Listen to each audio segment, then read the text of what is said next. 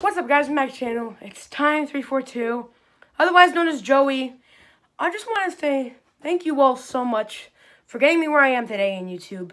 We've we've hit out 155 subscribers. That's that's amazing. We most YouTube channels don't even pass like five subscribers, or most channels on YouTube that have been like for like I don't know eight years still have no subscribers, and it's amazing that we've been able to hit 155 subscribers in a year.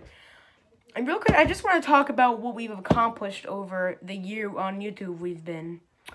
So, I'm guessing y'all know about my first video. You know, it's, it's kind of cringy. Please don't watch it. Um, but a few months ago, one of my videos hit 4,000 views.